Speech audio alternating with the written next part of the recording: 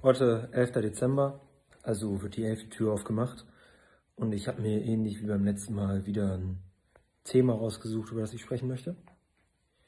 Letztes Mal war es Reisen, heute soll es Nächstenliebe sein. Nächstenliebe, was was ähm, ganz tief im christlichen Glauben verwurzelt ist, steht in der Bibel schon, Liebe dein Nächsten wie dich selbst, das Doppelgebot der Liebe, das Gleiche ist vom barmherzigen Samariter und äh, da gibt es bestimmt noch viele andere Sachen, die man anführen kann. Was ähm, bedeutet Nächstenliebe also? Nächstenliebe war immer irgendwie, ähm, um es mal runterzubrechen, war Nächstenliebe immer für jemand anderen da sein, helfen.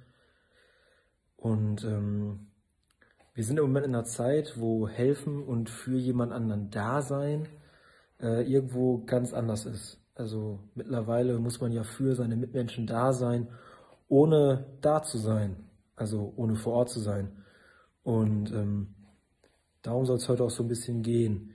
Äh, deswegen gibt es heute eigentlich auch gar keine richtige Aufgabe, die ihr machen sollt. Ähm, oder irgendwo, wo ihr euch selber mal Gedanken drüber macht, sondern es ist mehr so ein, so ein Appell, eine Art Bitte von mir. Ähm, wir waren heute, heute Morgen habe ich in die Nachrichten geguckt, äh, so viele Neuinfektionen wie noch nie, so viele Tote wie noch nie. Ähm, die an Corona gestorben sind oder die sich mit Corona infiziert haben. Und äh, auch da ist irgendwo Nächstenliebe zu sagen, das kann nicht sein.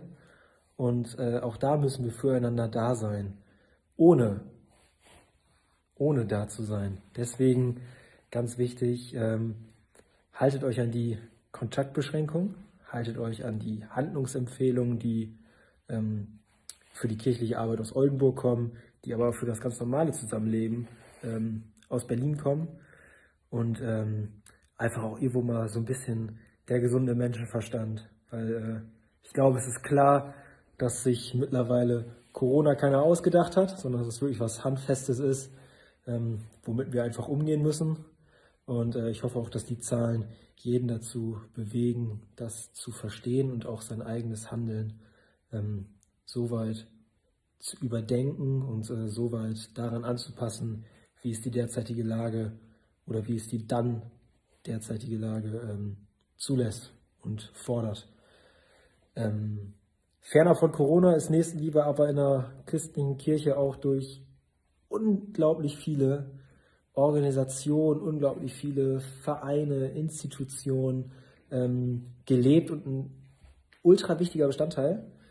Ähm, nur um mal ein Beispiel zu nennen, da ist eine Gemeinde hier im Stadtnorden auch äh, sehr stark drin verwurzelt und ähm, immer wenn man darüber spricht und wenn man mit, der Geme wenn man mit Mitgliedern dieser Gemeinde spricht und äh, wird immer wieder die Seemannsmission benannt. Auch das ist irgendwo Nächstenliebe. Auch da sind Leute für andere da, helfen, wo sie können und da, wo Hilfe gebraucht wird. Das gleiche ist auch ähm, diakonisches Werk und an sich alles, was man unter Diakonie zusammenfassen kann. Alles das ist Nächstenliebe und das ist ein ziemlich wichtiger Bestandteil der äh, evangelischen Kirche, der christlichen Kirche, aber ähm, hier nur der evangelischen Kirche. Ähm, wie schon gesagt, es gibt diesmal keine wirkliche Aufgabe für euch, sondern einfach nur ein Appell, eine Bitte von mir ähm, oder von uns. Haltet euch an die Kontaktbeschränkungen, haltet euch an die Handlungsempfehlungen, ähm, bleibt gesund, kommt gut durch die Adventszeit und äh, habt ein schönes Weihnachtsfest. Lasst uns einfach gemeinsam 2021 wieder so durchstarten, wie wir es eigentlich dieses Jahr geplant haben, aber nicht machen konnten. Und ähm, deswegen müssen wir alle sozusagen an einem Strang ziehen, um die Infektionszahlen einzudämmen, um die Ausbreitung des Viruses zu verhindern. Ähm, ja, seid füreinander da, wo ihr könnt und so weit ihr füreinander da sein dürft, ohne dass ihr irgendwelche Regeln, Gesetze und so weiter verstoßt.